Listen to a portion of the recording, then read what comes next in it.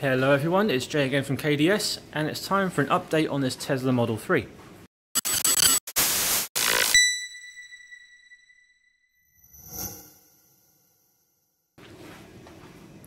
So, who remembers all those bits of blue tape from yesterday's video?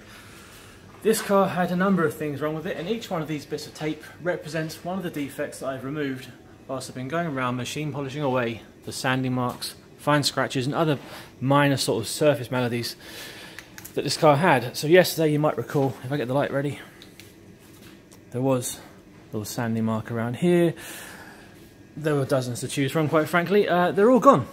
Great news, happy days, the car is lovely and shiny, right? Well, it is, but we're not finished. So, polishing cars involves more than just going around it once and removing swirls and scratches, because even though it looks pretty shiny at this point, let's look closely. And that's what this piece of blue tape is for. Hopefully, it's going to help my camera focus on the surface. There we go. Now I'm going to move the light bulb around. You can see some sort of fuzzy, swirly imperfections, very, very super fine marring on the surface of the car. And that's because the aggressive, aggressive method of polishing that I need to use to remove those initial sanding marks and swirls and so on doesn't quite get the car to a level of gloss and perfection that we would call finish.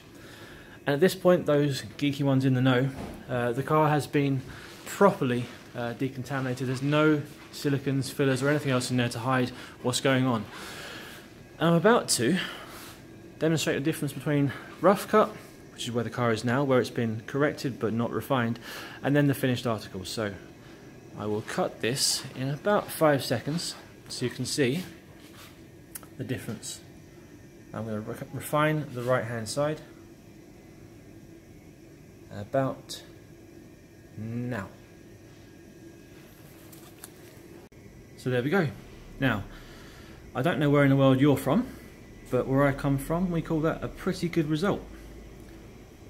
The left-hand side is still, of course, sort of fuzzy looking and marred from the aggressive polishing stage, which we needed to go through to get rid of the swirls and scratches and sanding marks. The right-hand side now has been refined, and uh, yes, I have used a strong solvent to remove any uh, fillers or silicone. This is the true bare naked, surgically clean paint finish. Um, and the first time you get to see a representative example of how the car is going to look at the end of the process. This is why we need to do more than one stage of polishing on a car like this because you have to be aggressive in the first place and you have to refine it afterwards. The first stage isn't going to do what the second stage does and the second stage won't remove all the defects that the first stage did. I do now have to get on and polish the rest of the car and the next video you'll see will be one where we've got the whole thing finished from KDS this morning. That's Jay over and out.